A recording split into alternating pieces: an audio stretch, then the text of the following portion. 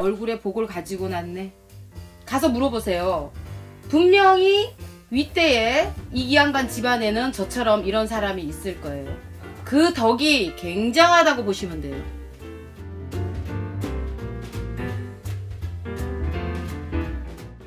선생님 저번에 이제 사주만 받았을 때 이 사람이 누군지 알 수 있을까? 그분을 정확히 맞추셨어요. 아직까지 제가 누군지 말씀 안 해드렸지만 어 그래서 한 번 더 그게 정말로 맞는지 86년 86년생이면은 35 11월 잠깐만요. 병인생 11월 25일 25일 네 음, 송씨 음, 근데 왜 나한테 자꾸 신가물만 물어보는 거야?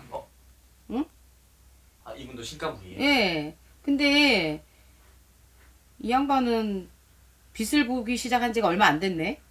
화려한 삶을 살아야 되고 이 사람은 집안에 저 같은 사람이 나야 되는 사람인데 신가물인데 진짜. 그 근데 이 양반이 지금 가물이 대단하거든. 예를 들어서 이 사람이 이 사람 같은 경우에는 집안에 분명히 나처럼 이런 걸 하시는 분이 있을 거예요. 얼굴에 복을 가지고 났네.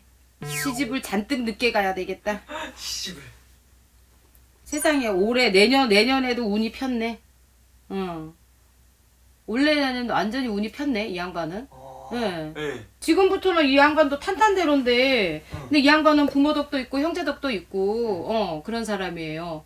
분명히 윗대에 이 양반 집안에는 저처럼 이런 사람이 있을 거예요. 그 덕이 굉장하다고 보시면 돼요. 음. 그러니까 그 자손들이 이제 그 빛을 보는 거야. 아그 이 양반이 그 전에는 좀 고생을 했다 싶, 싶은데 뭐 그런 고생 없는 초년 고생 없는 사람이 어딨어. 그렇죠. 어 차라리 초년 고생이 낫지. 음, 안 그래요? 맞죠. 어, 그 아까 선생님이 말씀하신 게 이 대성한 지 얼마 안 되신 분인 것 같다. 어 얼마 안 됐어요. 근데 그게 본인만 잘해서가 됐다라는 얘기가 아니라는 얘기지 내 얘기는. 음, 음.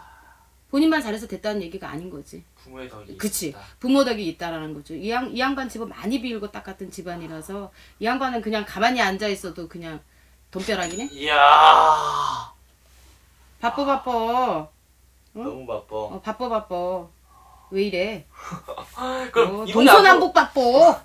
조심해야 될 건 없어요? 동서남북 바쁜데 이제 사고수가 네. 조금 비치기는 하는데 어 그래도 크게 큰 사고는 없을 것 같고요. 음. 어 그냥 스치고 지나갈 것 같고 그냥 일반 살아가면서 뭐 다들 있을 법한 그런 거. 음, 음. 그렇기 때문에 그렇게 신경 쓰지는 않을 것 같고 네.